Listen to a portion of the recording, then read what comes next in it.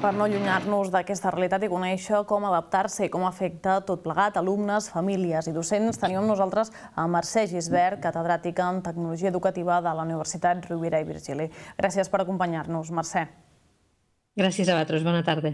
Bona tarda. Com dèiem, portem a un any, podríem dir l'any més atípic, sobretot si ho enfoquem també des del punt de vista educatiu. Quina valoració en fa aquesta adaptació, ja sigui tant a les aules, a la virtualitat, com ho valorem tot plegat?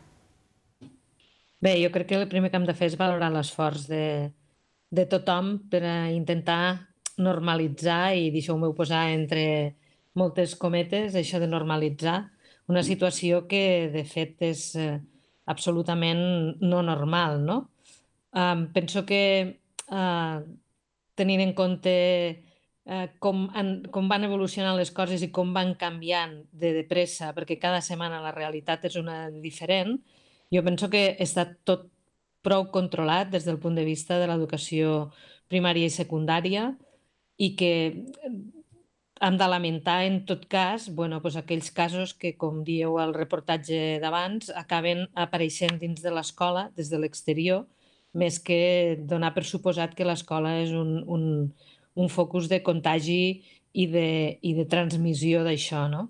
Des del punt de vista de la virtualització, aquí tindríem, diguem, que, que fer alguns matisos, en el sentit de que estem acostumbrats a fer una formació presencial, no tenim ni els recursos eh, de contingut ni probablement el professorat tot ell preparat per a entomar una situació i unes circumstàncies d'aquestes característiques.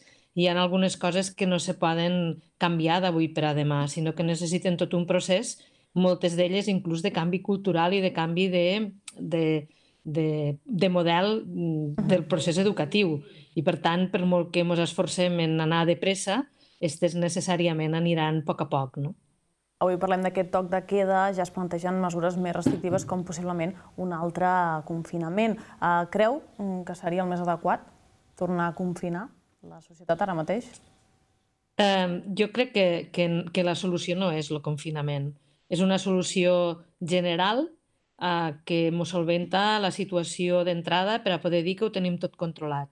Però en realitat jo crec que, que el que hauríem de fer és anar mirant franja d'edat per franja d'edat i mirar què és realment el que, el que s'hauria de fer.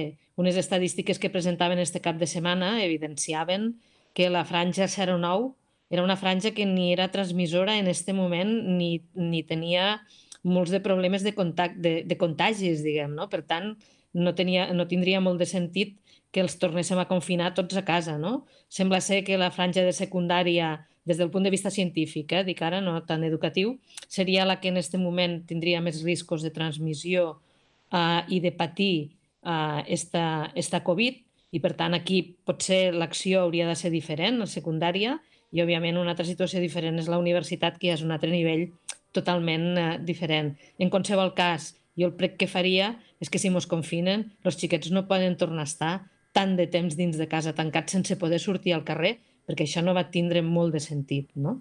Llavors, d'alguna manera, hem de trobar franges on els xiquets puguen sortir al carrer, puguen interactuar, puguen eh, estar a l'aire lliure, perquè és evident també científicament que l'aire lliure i la ventilació fa que els contagis no es produïsquen. Per tant, això no hauria de ser una dificultat o un problema. Uh -huh. Per tant, si finalment se decidís uh, confinar, el meu prec, diguem, educatiu seria que sobretot els més menuts han de tindre la possibilitat de sortir en algun moment del dia al carrer perquè ho necessiten psicològicament i educativament, no? Mercè, molt breument eh, parlava d'aquests recursos que no tenim, també aquesta adaptació cultural. ens hem adaptat, en certa manera, a la virtualitat. Quin creu que és el pas que falta, però, tot plegat?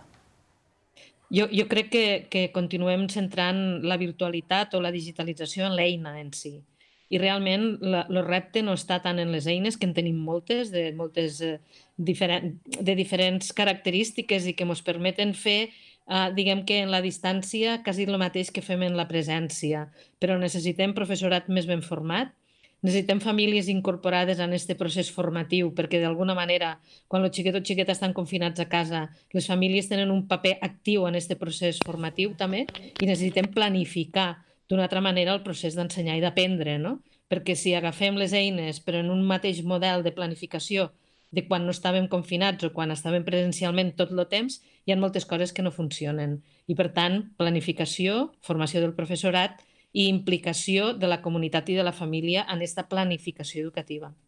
Doncs a Mercè Gisbert, catedràtic en Tecnologia Educativa de la Universitat Rovira Virgili, gràcies per acompanyar-nos. Seguirem parlant ben aviat. Que vagi molt bé. Molt bé, moltes gràcies a vosaltres. Bon dia.